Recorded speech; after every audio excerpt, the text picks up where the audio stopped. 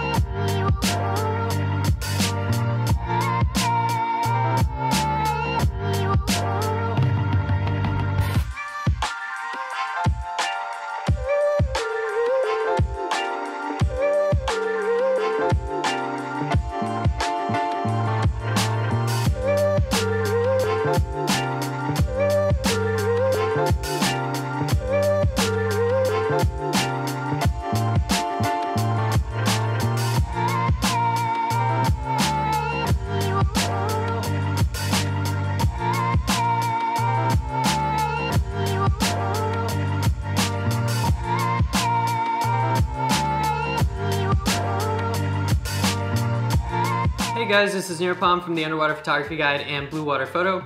Now, I wanted to start this video by saying, over the last two years, I've been privileged enough to shoot some of the top underwater cameras on the market, including the Sony a7S III, the Sony a1, the Canon R5, uh, I'll even consider the Nikon Z7 II to be up there. However, uh, this is the most excited I have been about a camera since I started shooting, and the reason for that is because it makes underwater photography, and video accessible. So this here is the Canon R10. It's Canon's first APS-C RF mount uh, mirrorless camera. And I only have good things to say about it. Like I'm pretty astonished with what I've come back with. I've been shooting it for a month. I've shot it in La Paz, Mexico on my underwater photography workshop. I shot it in Florida, uh, diving with some uh, bull sharks and doing some muck diving. And then I've shot it here in the Great Pacific Northwest in some cold water with some low light to really put it to the test. And it's passed all my tests. Um, now, I'm not saying this is the best camera in the world, but what I'm trying to say is this is the best value camera ever created. Uh, for the body itself, it's only $980. The lenses that go along with this are APS-C lenses, so you can expect, you know, roughly $400 for a Tokina 10 to 17, which is one of the most popular fisheyes. Uh, the kit lens is especially very cheap in that uh, comes in a package with this camera. And the housing.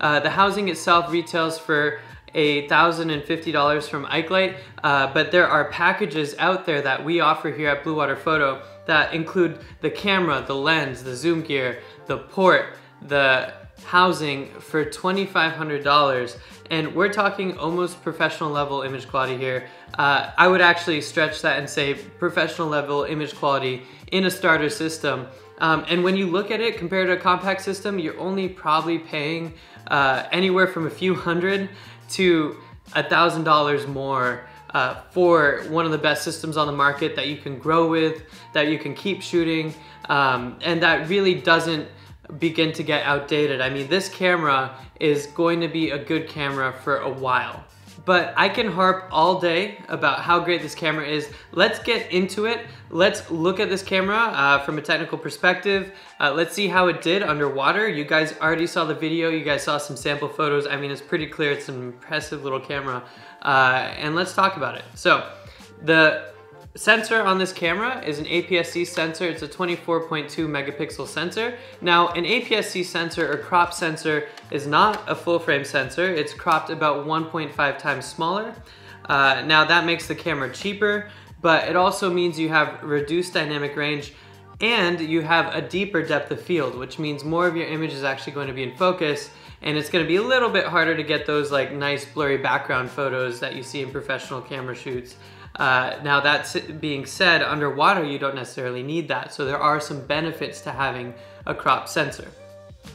Now, crop sensor cameras, like this Canon camera, can actually be used with full frame lenses as well. There's just a crop factor, so again, it's gonna be 1.5 times zoomed in. Uh, the camera features an RF lens mount. You can see it's got a really large lens mount with a very short flange distance. This means the corners on your photos with RF lenses are gonna be amazing, and they are. Now, not all uh, cameras have a lot of RF lenses available for them, this one included. Uh, it's an APS-C camera, so there's only a couple RF APS-C lenses out there so far. So the camera comes with a uh, 18 to 45 millimeter lens. As the kit lens, it works great um, if you want to do both kind of wide angle and macro. It's a good mid-range lens, it's good for portraits, uh, but I would recommend dedicated wide angle and macro lenses as well. Now that being said, you can get an EF to EOS-R adapter that adapts EF lenses onto this RF camera. So if you are a former Canon shooter, you can go ahead and shoot your Canon EFS and EF lenses, which means the Canon EF 100mm macro, uh, the Tokina 10 to 17, and a lot of other beloved underwater lenses can be used with the camera. Uh, now, my favorite lens in particular was the Canon, I mean, was the Tokina 10 to 17 lens and the Canon EF 100mm macro. Now, Ikelite is actually modifying the housing a little bit as we speak to work with the RF 100mm macro lens. What I have here is a prototype uh, there are not other housings from other manufacturers available, so we're gonna be talking about the Ikelite housing today. Um, and there have been some improvements, so bear that in mind when you're looking at uh, this system altogether. So let's talk about this underwater housing because I think it's really an important part of the system itself. Uh, since there's only one housing available, we don't really expect other manufacturers to make more housings. It's really important to talk about this one. Um, now, this is a prototype housing, like I said, uh, but it's fully functioning. It has full control of the camera and the new production level housings also have full control of the camera. Uh, it's quite small, I mean, really small. Uh, if you compare this to my full frame housing, which I myself own, so this is my Nikon Z6 housing, that's a big size difference. I mean, when I shoot uh, and I go on a, on a trip, I'm cutting about, you know, seven to 10 pounds when you consider the housing size, the dome ports, the lens sizes, everything all together. I'm cutting out that weight. And I've actually been finding myself leaving this, this housing at home. I don't need to keep this. I could give this right back to uh, Ikelite if I want to, just shoot my normal system. I've been leaving this at home because the short entries here are tough and I'd rather have something a lot smaller. Um, if the image quality is almost or just as good. Now, the housing has two latches on it to open and close it. It has uh, dials on the back and on the top in order to control the two dials that are on the camera for aperture and shutter speed. It's got buttons that fully control the camera and uh, more importantly, it has a hot shoe that plugs into the camera's hot shoe mount so that you can use sync cords with the housing to fire your strobes. Now sync cords are really cool because uh, that electronic signal gets sent immediately to your strobes, which means every time you hit that shutter button, your strobes know that they can fire. Now they might not fire due to recycle times, but you're getting the absolute fastest speed possible out of your strobes. Now, the housing has the option to come with a vacuum valve. Now, the vacuum valve is included, but you do have to buy the pump separately. Uh, so it is vacuum sealed, and you can do a test to make sure your housing is sealed before you get in the water during every dive. Now, Probably my favorite thing about the housing is something that's not available on the prototype yet. Uh, when I was shooting it, I spoke to Ikelite and I was like, look, hey, you really do need a back button focus system so that you can do back button focus on the housing. And lo and behold, they are adding one. So there's gonna be a little lever here and a lever here for your shutter. So you're gonna be able to just hit your back button focus and hit your shutter, which makes it super, super ergonomic.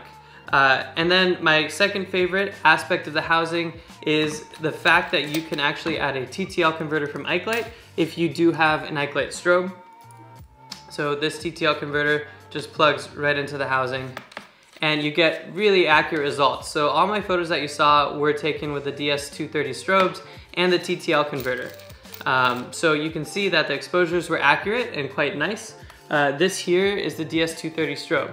Now this is Ikelite's top of the line strobe and you know, if you're looking at an entry level system, you might be thinking, well, do I really need a top of the line strobe to get into it? Uh, it's yes and no. I mean, when I look at underwater cameras, I'm really thinking, you know, you should invest in lighting first because lighting is what changes your photos. The camera, the housing, that comes second. The lenses are also important, right? You wanna think about things that actually change the photos. In my opinion, you can take the same photo from each camera. It just looks slightly different when you're post-processing and then when you come out uh, with your final product and you print it. So you can get the top line strobe, but if you don't want to, we actually have a package uh, with the YS-D3, um, which is only $34.99. So that is an awesome deal for a strobe, housing, camera, everything all together, $34.99.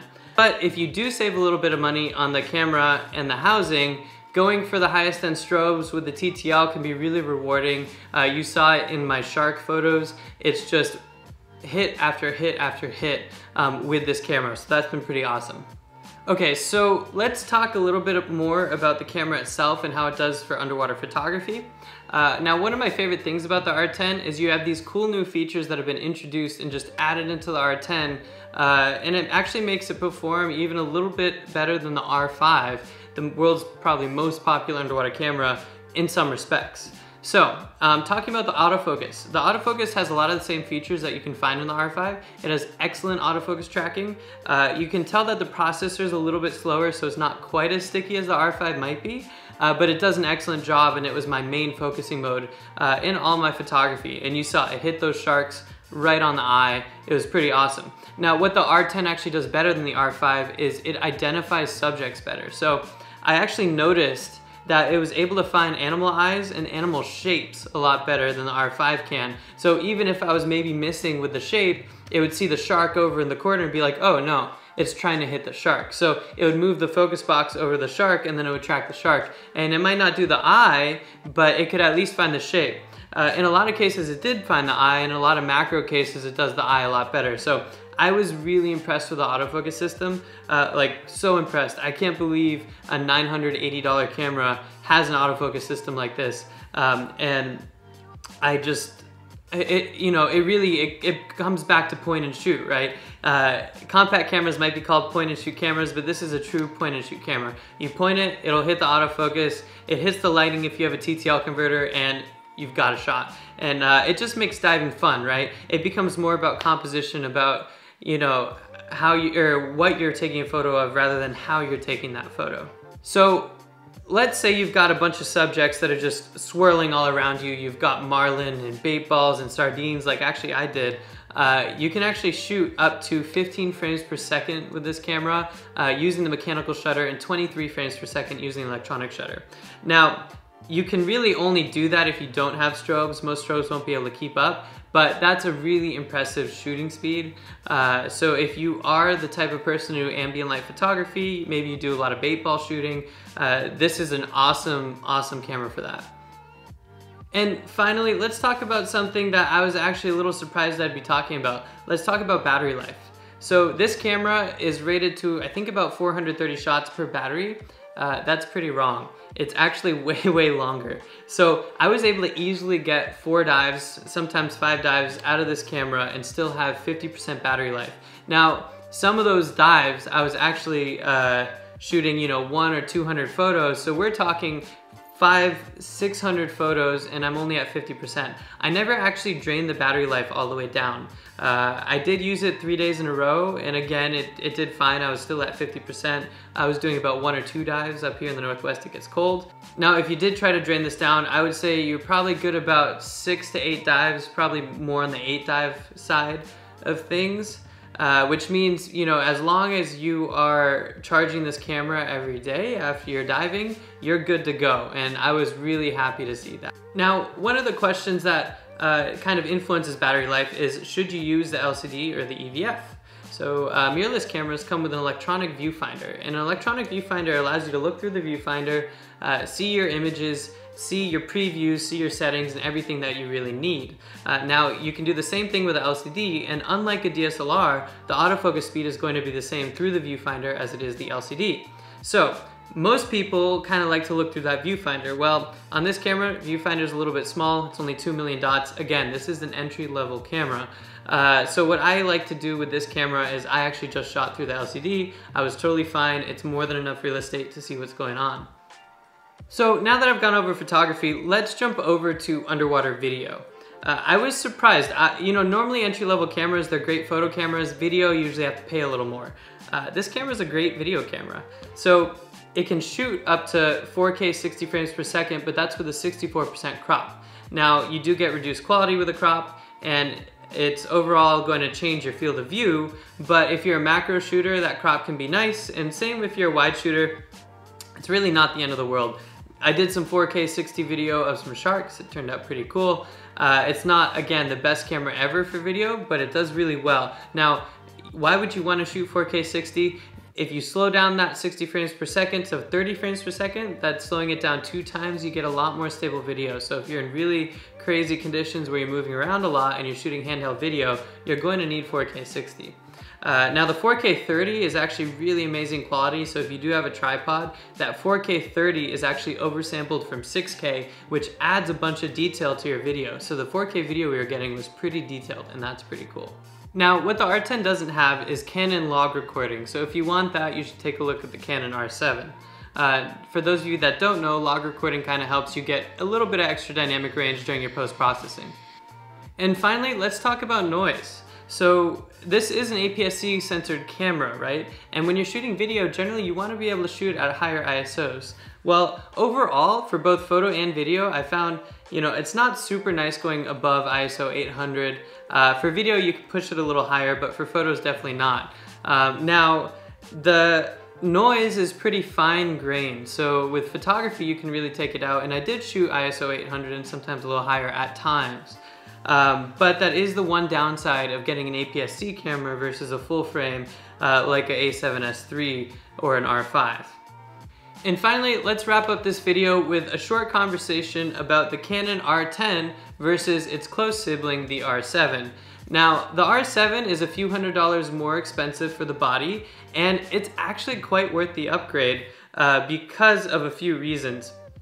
The R7 has in-body image stabilization, which really helps you get uh, nice crisp photos if you're shooting at low shutter speeds.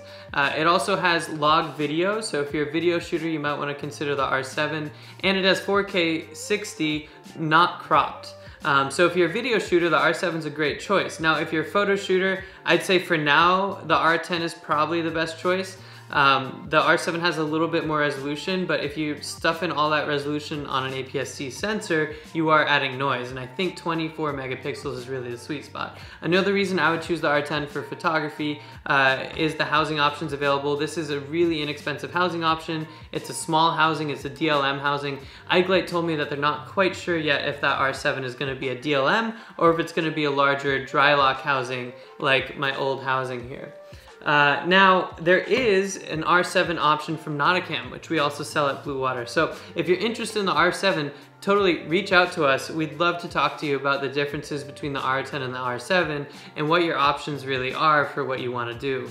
But all in all, I would say the R10 is truly for an underwater photographer that is really looking for a system that they can grow with, that they can learn with, um, that they can do a little bit of both photo and video, and that they just really need the best value on the market because this is it. If you want the best quality photos and the best quality video possible for the cheapest price, you're not gonna get better than the R10. So with that, make sure you like and subscribe if you like this video. Uh, we have Black Friday sales on the R10. It's about um, $100 off for the camera, that translates to a lot of stuff. Uh, some of the packages are even more discounted. Um, so if you have any questions at all, make sure you reach us to us at sales at bluewaterphotostore.com. Uh, drop any questions you have in the comments below. We'll answer them. Uh, again, like and subscribe. It really helps us out. And with that, we will see you out there shooting with the R10. I mean, look at this thing. It's super fun to shoot, and I can't wait to get it in people's hands.